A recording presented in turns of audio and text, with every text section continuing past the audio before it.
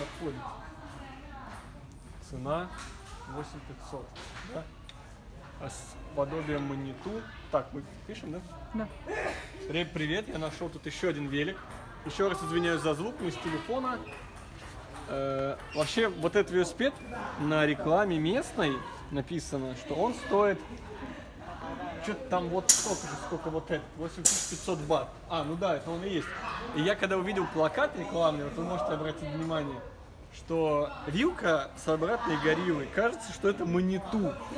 Соответственно, у человека сразу же автоматом возникает мысль о том, что здесь хорошая вилка и, соответственно, хорошая навеска.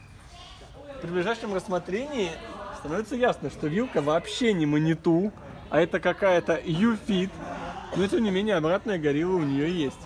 Надо дать должное этой вилке, а, сделана она не как кусок говна. То есть э, вилка явно бюджетная, но сделана нормально. Тут, судя по всему, двойные обода 27,5 с пистонами, втулочки на шарах. Резина совершенно мне незнакомая. А педали сразу с туклипсами идут. Ну, педали с пластиковые, с пластиковой сердцевины, то есть полная херня. Но туклипсы это прикольно. Алюминиевая рама. Такая не самого дешевого вида. Э, приятное сиденье. Очень приятные грипсы. Монетки с рам. Монетки с рам, да. 17 тысяч цена велосипеда. И, ну, понятное дело, дисковые тормоза, алюминиевая рама сейчас много на чем есть. Но чтобы задний переклюк был с рам X3 за 15 тысяч рублей, такого я не видел.